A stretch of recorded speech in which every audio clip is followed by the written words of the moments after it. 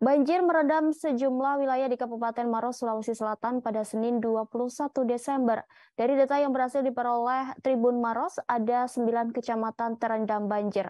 Di antaranya Camba, Cenrana Banti Murung, Simbang Turikale, Lau Marusu, Mancong Loe Maros Baru.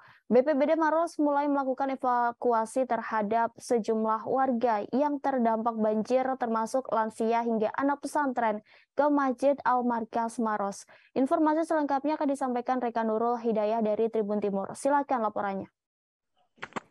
Halo, selamat siang Tribunars. Baik, Tribunars, eh, setelah dua hari diguyur banjir, eh maksud saya diguyur hujan, uh, sejumlah kecamatan di Kabupaten Maros, Sulawesi Selatan dilaporkan uh, terendam banjir Tribunars. Nah, dari penuturan Kepala BPBD Kabupaten Maros, Sulawesi Selatan, banjir terjadi hampir menyeluruh di seluruh kabupaten. Namun ada beberapa uh, kecamatan yang memang terdampak cukup parah seperti itu Tribuners, yakni Bantimurung, Simbang, Turikale, Lauk, Marusu, Moncongloe, dan Maros Baru.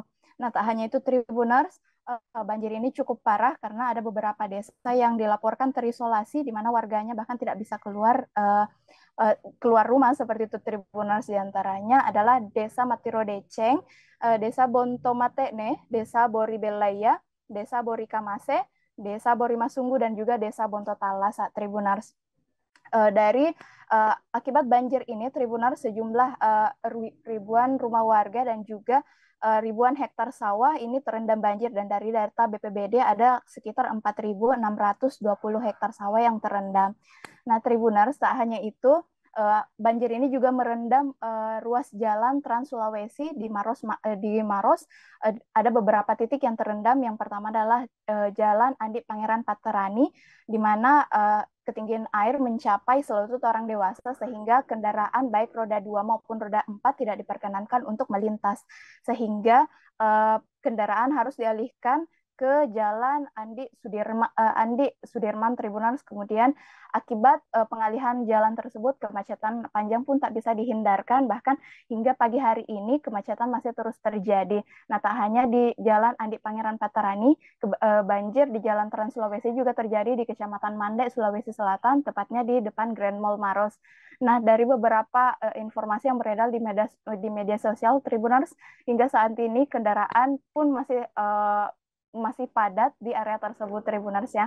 Nah, tak hanya jalan Trans Sulawesi, eh, banjir juga merendam sejumlah jalan-jalan eh, jalur-jalur alternatif di beberapa kecamatan seperti di Kecamatan uh, Moncongloe dan juga di Simbang Tribuners.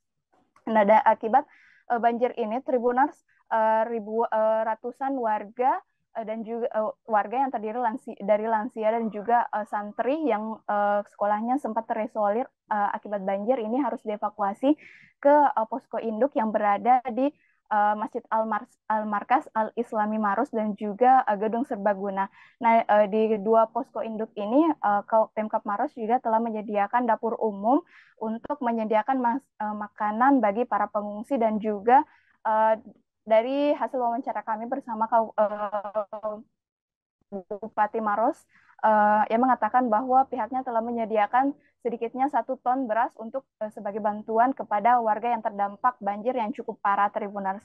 Nah, tak hanya itu Tribuners, uh, uh, dikabarkan satu orang uh, satu orang lansia meninggal dunia akibat banjir yang terjadi uh, kemarin Tribunars.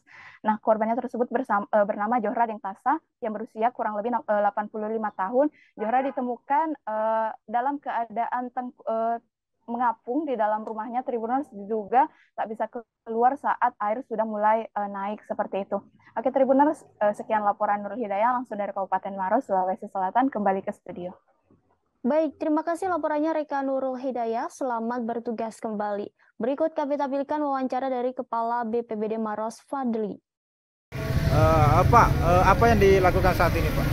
Kami sementara fokus dalam pengevakuasi korban bencana, khususnya uh, orang tua atau uh, lansia maupun uh, anak bayi. Kita juga sementara fokus uh, pada anak-anak sekolah seperti pesantren yang sekarang musim libur yang butuh kita evakuasi, evakuasi karena ada beberapa lokasi pesantren yang sampai sekarang terisolasi.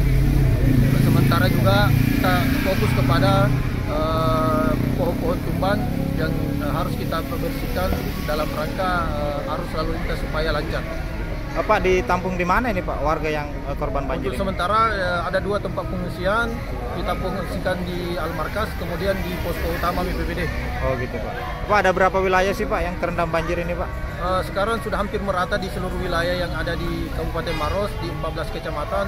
Uh, cuma uh, ada beberapa yang hanya terjadi pada titik-titik tertentu dan itulah yang menjadi uh, fokus kami untuk bagaimana mengevakuasi warga ini. Terima kasih sudah nonton. Jangan lupa like, subscribe, dan share ya.